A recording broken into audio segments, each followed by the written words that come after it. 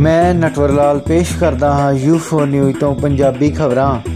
ਹੁਸ਼ਿਆਰਪੁਰ ਵਿਖੇ ਉਦਯੋਗ ਤੇ ਵਣਜ ਮੰਤਰੀ ਪੰਜਾਬ ਸੁੰਦਰ ਸ਼ਾਮ ਅਰੋੜਾ ਨੇ ਕਿਹਾ ਕਿ ਪੰਜਾਬ ਸਰਕਾਰ ਵੱਲੋਂ ਸਤੰਬਰ ਮਹੀਨੇ ਸੂਬੇ ਦੇ ਸਾਰੇ ਜ਼ਿਲ੍ਹਿਆਂ ਵਿੱਚ ਲਗਾਏ ਜਾ ਰਹੇ ਮੈਗਾ ਰੋਜ਼ਗਾਰ ਮੇਲਿਆਂ ਦੌਰਾਨ ਕਰੀਬ 1 ਲੱਖ ਨੌਜਵਾਨਾਂ ਨੂੰ ਨੌਕਰੀਆਂ ਦੇਣ ਦਾ ਟੀਚਾ ਮਿੱਥਿਆ ਗਿਆ ਹੈ। ਉਹ ਅੱਜ multi circle development centre complex ਵਿੱਚ ਲਗਾਏ ਗਏ ਪਹਿਲੇ ਜ਼ਿਲ੍ਹਾ ਪੱਧਰੀ ਮੈਗਾ ਰੋਜ਼ਗਾਰ ਮੇਲੇ ਦੌਰਾਨ ਪਹੁੰਚੇ ਹੋਏ ਸਨ। ਇਸ ਦੌਰਾਨ ਉਹਨਾਂ ਨੇ ਵੱਖ-ਵੱਖ ਉਦਯੋਗਿਕ ਅਤੇ ਵਪਾਰਕ ਅਦਾਰਿਆਂ ਵੱਲੋਂ ਚੁਣੇ ਗਏ ਨੌਜਵਾਨਾਂ ਨੂੰ ਜਾਬ ਲੈਟਰ ਵੀ ਸੌਂਪੇ।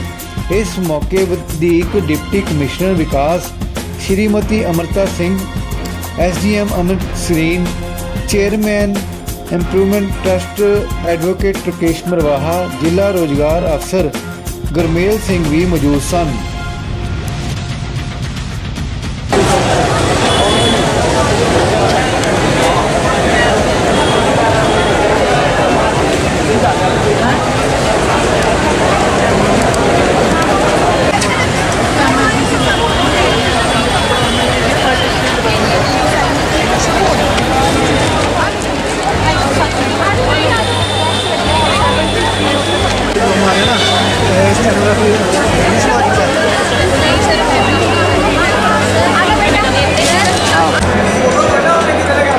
ਤੁਸੀਂ ਰੋਜ਼ਗਾਰ ਮੇਲਾ ਜਿਹੜਾ ਅੱਜ ਦਾ ਲੱਗਾ ਇਹਦੇ ਤੋਂ ਸੰਤੁਸ਼ਟ ਹੋ? ਨਹੀਂ ਭਾਈ ਕਿਉਂ?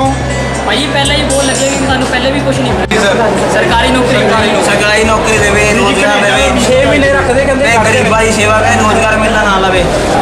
ਰੋਜ਼ਗਾਰ ਮੇਲਾ ਨਾ ਲਾਇਆ ਜਾਵੇ? ਹਾਂਜੀ। ਗਰੀਬਾਂ ਦਾ ਧਿਆਨ ਦੇਵੇ। ਇਹ ਸਾਰੇ ਘਰੋਂ ਰੱਜੋ ਪਏ ਆ ਨਾ ਉਹ ਨੌਕਰੀ ਦੇ।